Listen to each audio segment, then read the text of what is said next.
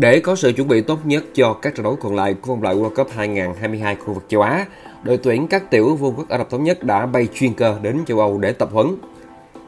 Theo Liên đoàn bóng đá các tiểu vương quốc Ả Rập Thống Nhất UAE tuyển các tiểu vương quốc Ả Rập Thống Nhất đã đáp chuyến bay riêng đến thủ đô Belgrade của Serbia nhằm chuẩn bị cho trận đấu với Việt Nam, Malaysia, Indonesia và Thái Lan ở vòng loại World Cup 28 tuyển thủ và các thành viên ban huấn luyện mới dưới thời tân huấn luyện viên Jorge Luis Pinto đã có mặt ở Serbia để bắt đầu cho đợt tập huấn dự kiến đến ngày 25 tháng 8.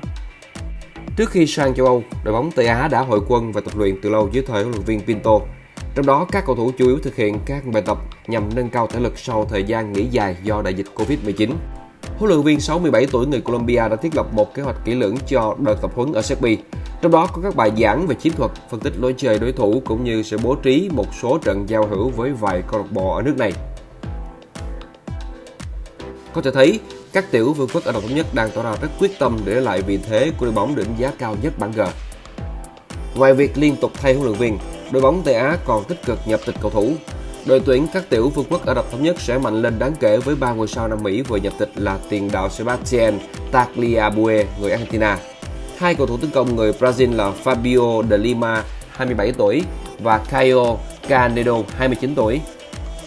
Tuy nhiên, trong đợt tập huấn ở Serbia, chỉ có sự góp mặt của Tagliabue và Fabio. Cầu thủ Canedo đang tạm thời bị loại vì nhiễm Covid-19. Với sự góp mặt của những ngôi sao nhập tịch có chất lượng, các tiểu vương quốc Ả Rập Thống Nhất chắc chắn sẽ rất đáng gầm khi đối đầu với Việt Nam.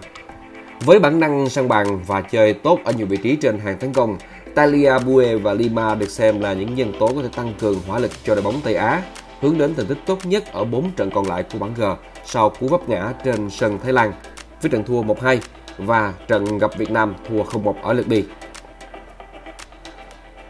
Hiện tại các tiểu vương quốc Ả Rập Thống Nhất có 6 điểm đang đứng ở vị trí thứ tư bảng G sau Việt Nam, đội đang có 11 điểm. Malaysia đang có 9 điểm và Thái Lan đang có 8 điểm.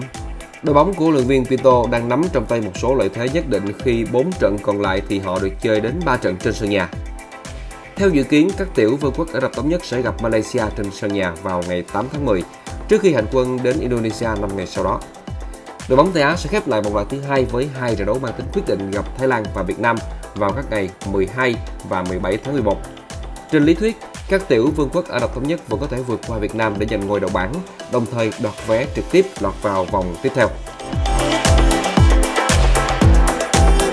Cảm ơn các bạn đã theo dõi. Đừng quên like, share và bấm đăng ký kênh nhé. Xin chào và hẹn gặp trong các video tiếp theo trên kênh thể thao 360 của báo Thanh niên.